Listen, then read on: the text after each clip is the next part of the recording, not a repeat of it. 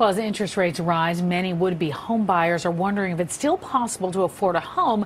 But there's a new program called uh, Two to One Buy Down that could help make mortgage payments more affordable. Yeah, here to explain how that works is the CEO of the Bizzarro Agency, Matthew Bizzarro. Thank you for joining us.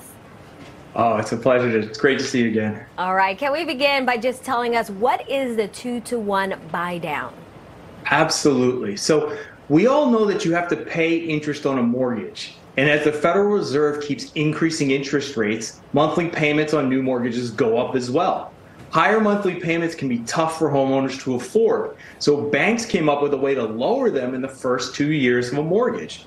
So a 2-1 buy down lets you lower the interest rate of a loan by 2% the first year, 1% the second year before it goes into the regular interest rate on the third year.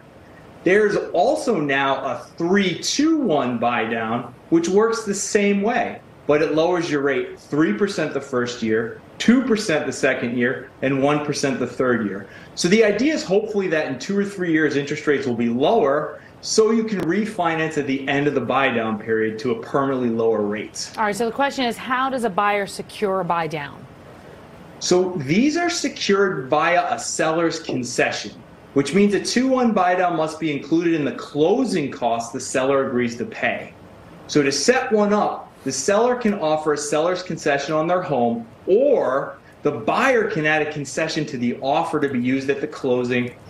So, for example, if you're buying a $300,000 home and add $20,000 seller concession, bringing the purchase price to 320,000, at the closing table, the additional 20,000 concession is paid to the bank to qualify for the 2-1 or the 3-2-1 buy down. So what impact does that really have on the seller and does it cost them any money? It doesn't cost the seller so much. It would be, as you increase the price, it increases the transfer tax they would pay. But I think what the seller needs to be focused on, especially if they can't sell their home right now, they need to be utilizing this as a way to draw buyers in. Mm-hmm. This needs to be something positive on their marketing as a way for a buyer to purchase their home with lower interest rates. So, is there any reason the banks are offering this option right now?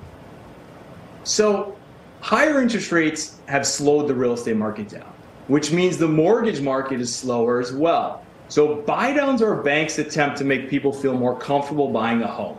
It's basically a move to drum up business. But for the right buyer, it could be a way for them to purchase their home rather than dealing with the high rents that keep going up every year. Mm-hmm. Okay, so let's say if you have to prepay the interest, how does that save money in the long run? Well, it doesn't necessarily save money in the long run. However, what it does is it lowers your monthly payments for the first two, three years. So those are the years when the lower payments tend to be most helpful, especially for first-time homebuyers who are adjusting to getting used to a mortgage payment. Because when you buy a home, let's look at it, you need to buy things like window blinds, furniture, and it's easier to do mm-hmm. that if you have more cash flow. There's also a psychological aspect. So interest rates are around six and a half now, and historically that's a pretty good interest rate. But because we've been spoiled by low interest rates for the last decade, it gives people pause when normal interest rates return.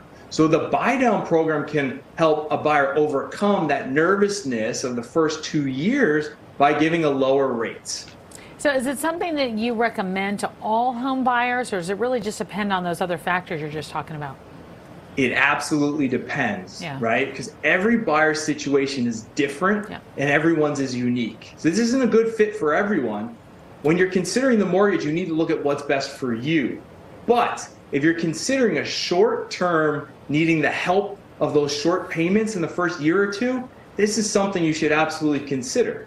But as always, you want to consult with your real estate professional to explore what are the best options for you. Mm-hmm. Because let's face it, New York City is a tough and expensive real estate market. So a lot of people don't think they can afford to buy, but there are ways to make home buying more affordable. Sure. You just need an experienced real estate professional to guide you through it.